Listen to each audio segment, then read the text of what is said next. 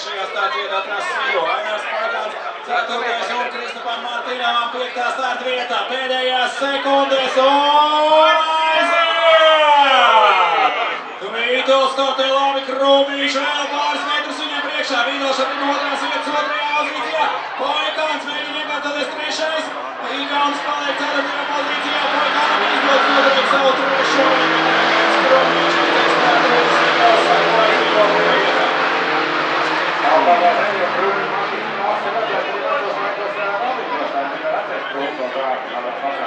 Melnas dzeltenā mašīnā nodarīta līdzsvītos, joprojām braucam tieši to puiku.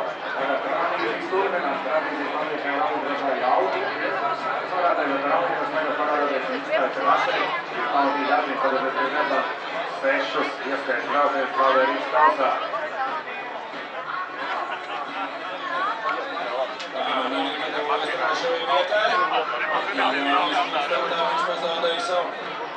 Pozīcijas startā vēl pirmajos metros bija gana līdzīga ar Vito, bet tad atkritus ceturtā vietī vairs nolim laika netērē Tanāgi brauca cauri Džokerim.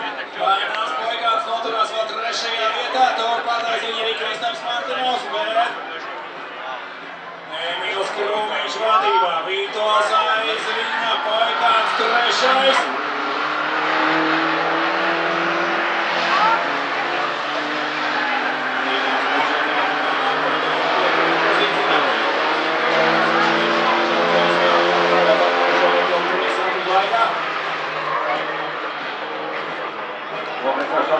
Diezgan tos trīs, un dalībnieki tiešām nav sevišķi vasarā. Tas nozīmē, ka tagad jau neļaus salikt savu dalībnieku komandu, pēc tam nākamais kaut kādā braucienā viņam pa laikam, kad salikt līdzīgāk līdzekļi, ja mēs redzēsim vēl brīvāk vispār bukari, durvis pie durvis, šādi cīnīsies. Tas ir tikai pats pats sākums, lai sadalītu spēkus, un joprojām Romiņš priekšā ar smūgo manu zeltaino žiguli, un aiz viņu svītos ar 26. numuru arī jau pirms pēc autografu braucēju. Noteikti daudz arī pazīst. Un pārējā tagad otrajā galā cīņas pret Džokeriem, to no puses netiekam pēc no tramplīna. Poikāns iekļaus Džokeri, zaudē ne tikai trešo, bet arī ceturto vietu.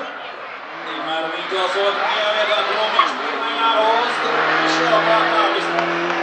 Kristaps Martīnovs šobrīd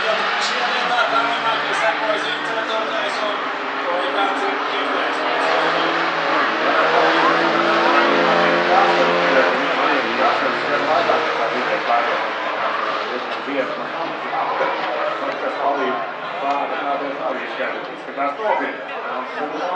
Ovo je Katarana je srednja Skromnićev. Ovdje stižao s odrajka, više da vidi ništa ne trao se. On je kutine treće reta Anastinov. Pregled je samo Skromnića kojem protivine Raca.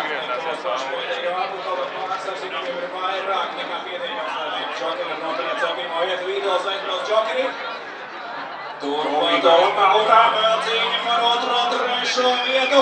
Vītols caur atlim. Tam Magī paliek aiz 27. numuru Martinovs cīņā ar Vītolu par otro trešo vietu. Martinovs vēl nav bijis Džokeri.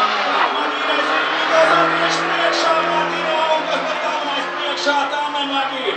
Igauns paliek aiz Vītola. Viņām Džokeri atlim izbraukuši. Vītols ir atpakaļ trasē otrajā vietā.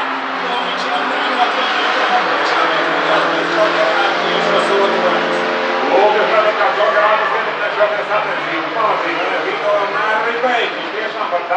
dažiem metriem tikai paspēja izbraukt pareizā laikā no Džokera, un kas tikko trāpījis vidū, un tagad tiešām tas arī maina tikai, ka Vitos tiešām drošā pozīcijā, tad aizbrauc to Džokeru. Kas viņam ir prasīja jau šajā līnijā, Džokera atgriezt, un mēs arī nezinām, kā viņi visi izvērās, bet Krūmiņš stāvīni vadībā, viens pats vienīgajos Džokeriem, te ir tīri par neredzos spoguļos, Vitolam trauc, Tātad atkal Martīnos meņem tik galā garā Vito, Vitos noturās, tā nevajag arī tur patās, vienīgi Poikāns, viens pats un dusmīgs pēdējā piektajā pozīcijā aiziet.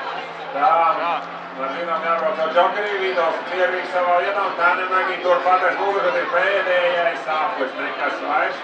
Daudz roļi nevar, ja kāds pats nekļūdīsies. Pēdējā līgumā bija spīdīšā, un tā Vitos